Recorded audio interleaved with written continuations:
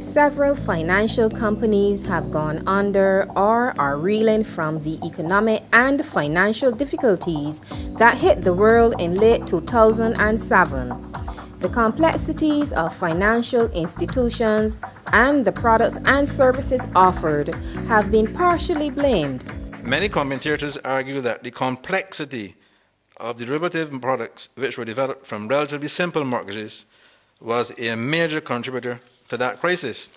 While the mortgage crisis was felt in the international community principally, Deputy Governor Harold Codrington reminded that the Caribbean is generally not immune from the difficulties of the global financial system.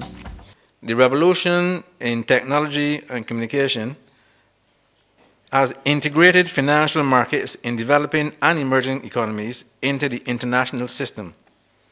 This has forced regulators and financial market specialists in small open economies to be just as vigilant and just as equipped as their counterparts in the leading financial centers.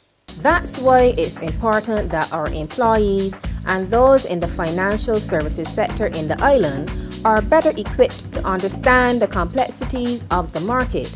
And one of the ways of achieving this is through training in areas such as risk management, capital markets, financial education, and financial reporting standards. These are precisely the topics that CEMLA, the CFA Institute, and the Central Bank of Barbados exposed our colleagues to at a recent one-day seminar held right here in the Grand Salle. I was among the trainees and the session was extremely useful. Special thanks to CEMLA, the CFA Institute, and the Central Bank of Barbados for sponsoring the seminar. Reporting for CBB News, I am Philia Kelman.